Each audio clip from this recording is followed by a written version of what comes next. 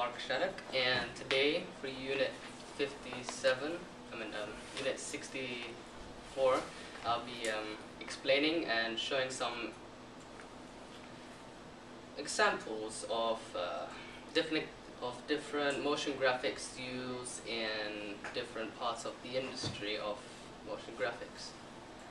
And I will start off with the motion graphics industry comprises mostly of animators and um, photographer, photographers where they um, compose and well place their work into um, the product that's being made and the first I will show of this example will be um, a movie made by Hasbro called My Little Girls. The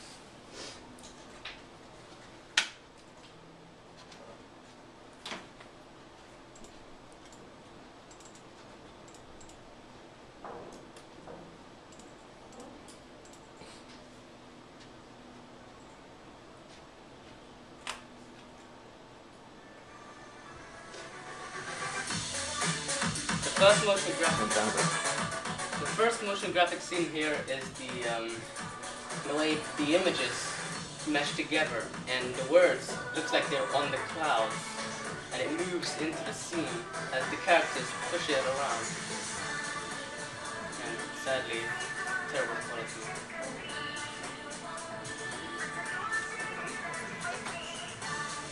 And here they use sparks and different effects where the character shoots a light beam at the character that the word and then it zooms out into a uh, an image panorama where the further you get from it, the image shrinks and looks three-dimensional. Where the title of the film comes up into the screen and the image hits onto the side and it turns into one flat image. And here it shows the um, different words onto the objects, like the names of the uh, voice actors. And it moves with the background and and the characters like it was an actual object, like you're watching it moving along. There's a lot of sparks Okay, thank you. stuff.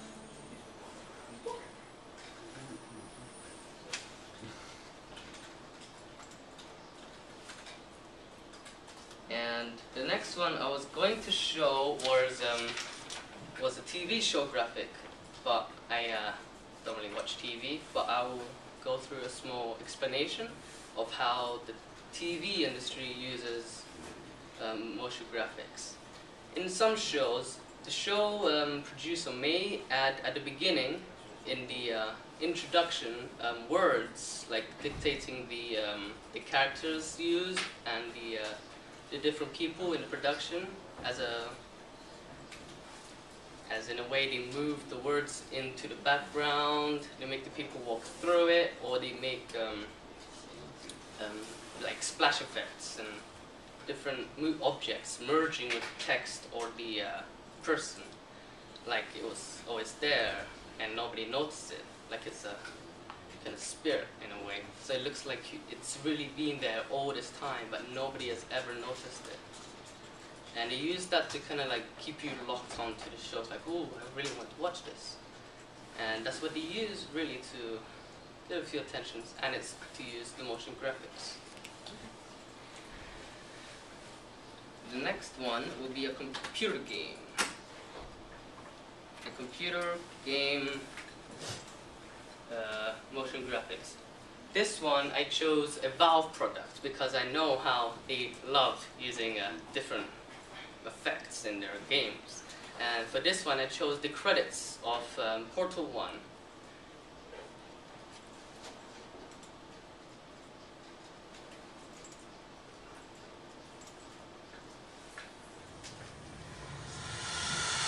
First, it starts with the camera parano- um, where the camera moves along the map. And it takes you past all these different colored objects and pipes. Kind of kind of giving you a uh, industrial look. It's like you're, you're looking like you're inside the factory. And then it brings you to a, a nice, smooth panoramic movement with the camera where it circulates a hole. and then it brings you to uh, the mysterious "The Cake Is a Lie," where uh, you will see the mysterious companion cube, which is still yet to be found, and where lights turn on, and then a small grabber turn off the lights, which brings up this G- GUI of GLaDOS's message. Constant typing. So she's literally talking to you as well as telling you what she's saying, as well as um, secretly or uh, confusingly putting down the creators of the game. Constantly typing. And also, you'll create images using ASCII art, which is um, using text to create images, which usually takes a bit of time to create as you need to have a creative mind. So the um, motion graphics used here was the camera movements and the text appearing like she was typing to you through um, hacking tools or through um, instant messages.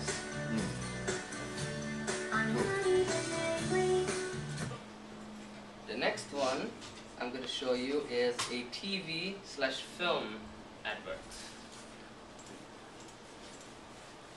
which would be here.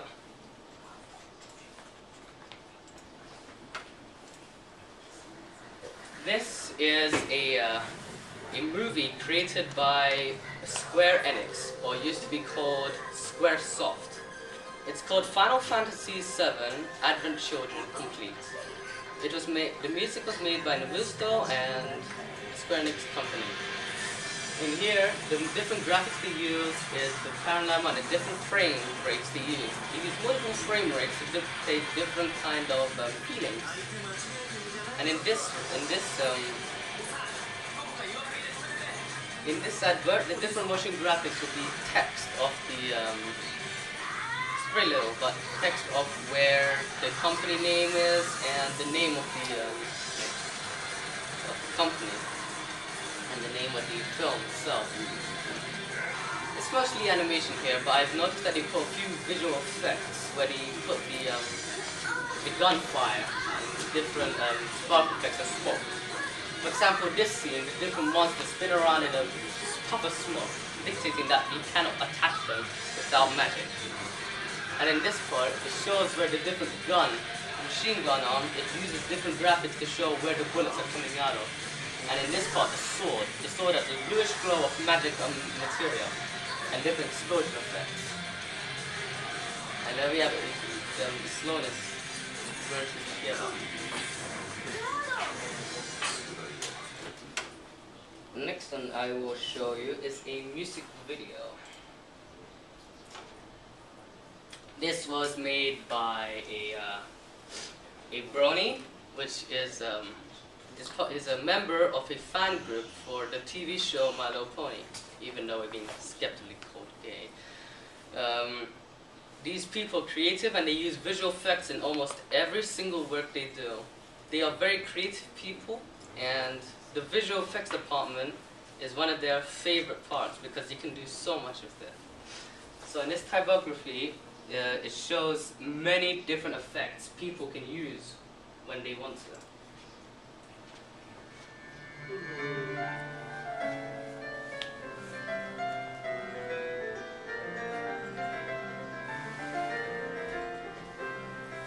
So here the is camera pans down to the town and it keeps panning to the right.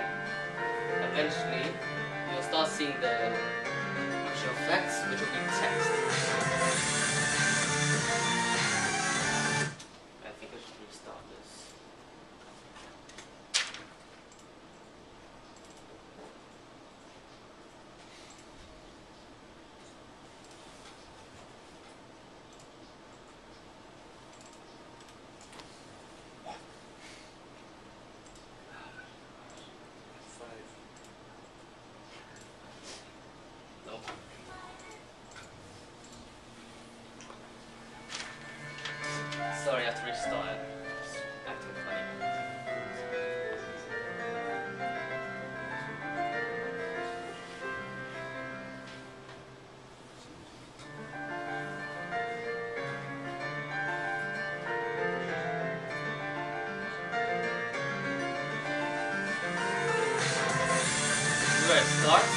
So the name of the song turns up and it pans and moves with the character, so like going there.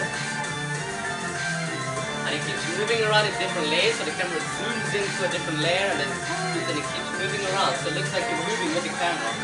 And here's the motion graphics.